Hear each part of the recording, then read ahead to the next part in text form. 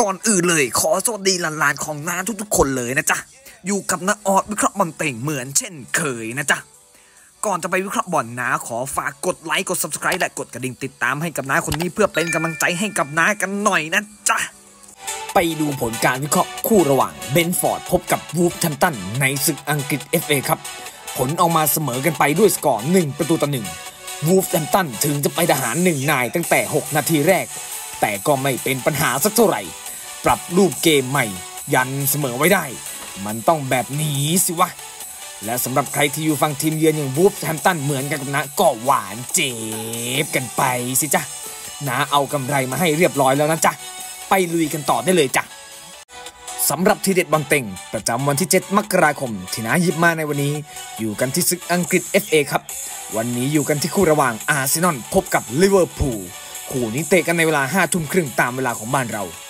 สำหรับราคาต่อรองต่ำสุดของคู่นี้อยู่ที่ 0 หรือเสมอ และราคาต่อรองสูงสุดอยู่ที่ 0.5 หรือครึ่งลูก คู่นี้ราคาเปิดมาที่อาร์เซนอลเป็นฝ่ายต่อ0ทับ0.5 หรือปปอหมายความว่าถ้าเองอยู่ฝั่งอาร์เซนอลเอาชนะไปได้ เองก็จะได้กินเต็มไปนะจ๊ะ แต่ถ้าผลออกมาเสมอกันหรือแพ้ก็จะเสียเต็มนั่นเองนะจ๊ะ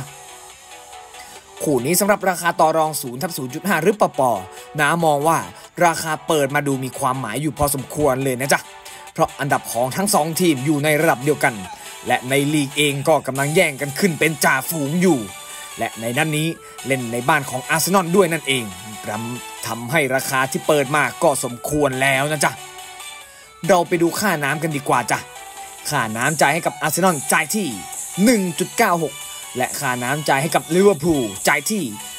1.86 ค่าน้ำฝั่งทีมเยือนบงบอกว่าทีมเยือนในนัดนนี้ดูเหมือนจะมีความได้เปรียบอยู่พอสมควร อาจจะเพราะด้วยฟอร์มโดยรวมของทีมณตอนนี้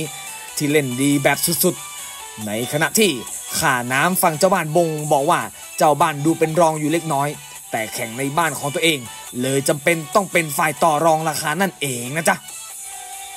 ต่อไปเราไปดูโอกาสแพ้ชนะกันจ้ะอัตราเจ้าบ้านชนะมี 45%ส่วนอัตราทีมเยือนชนะมี 40%และอัตราผลออกมาเสมอกันมี 15%อัตราออกมาตรงนี้ชี้ให้เจ้าบ้านมีความได้เปรียบมากกว่าเล็กน้อย ซึ่งถ้าเอาไปบวกกับราคาต่อรองและค่าน้ำแล้ว ดันส่วนทางกันนิดหน่อย เลยทำให้สามารถมองไปทางฝั่งของทีมเยือนได้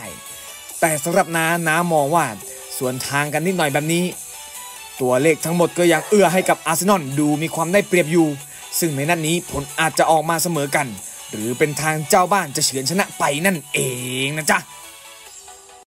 สำหรับแนวทางการใช้เทคนิคของนาให้ดูแค่ราคาเสมอเอามาเปรียบเทียบเท่านั้นนะจ๊ะ